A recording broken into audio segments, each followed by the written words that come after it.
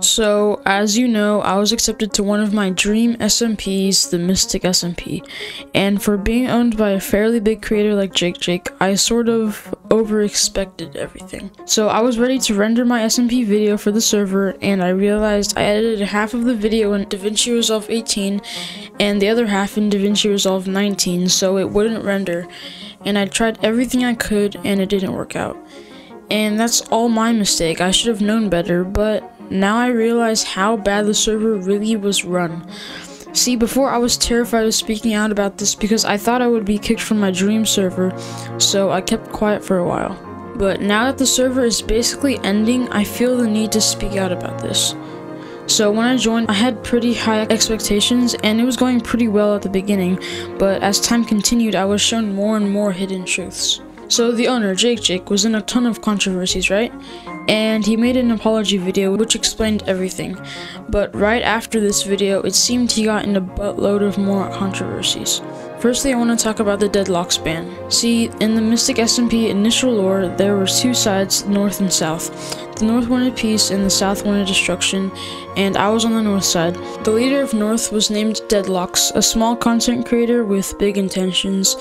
And one day we got a new server for some apparent reason, and Deadlocks recorded JakeJxke cheating in the SMP. Here are the clips.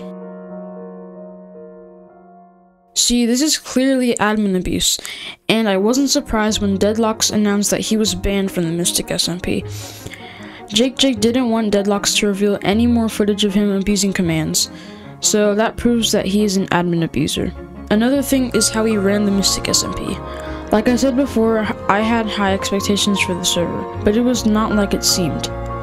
The lore that he intended for the server to use was not well thought out, and even when an actual storyteller on the server, Aurora, tried to help, it was too late. JakeJxke says he's improving on his storytelling, but from how the server lore was thought out, I do not believe him. The basics of being a storyteller is to know how to tell a story. Just like Aurora told Jake, we should have focused less on the story itself, but on the stories of all the members of the server. It now just seems like we're little pawns to JakeJxke the main character. But yeah, he keeps messing up left and right and he will literally not stop. And now we have a more popular topic, the reason why JakeJxke makes so many SMPs. He's already made three SMPs in a matter of a few months and there is one reason for this. Content farming.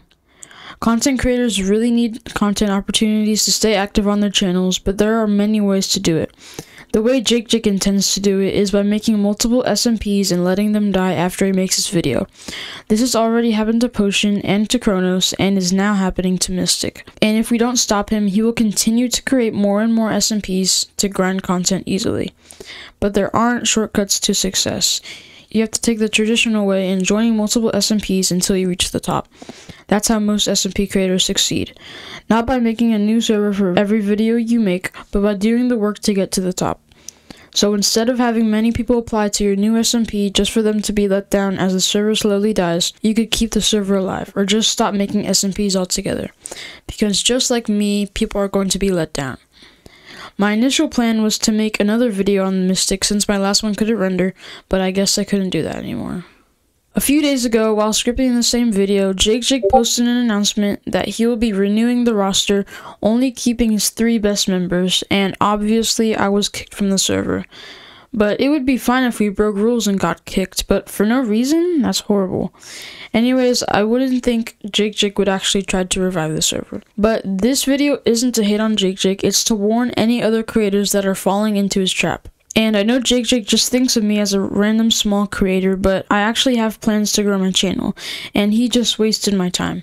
So I'm warning every SMP owner, every content creator looking for an SMP, and everyone associated with him, don't do it. Thanks for watching.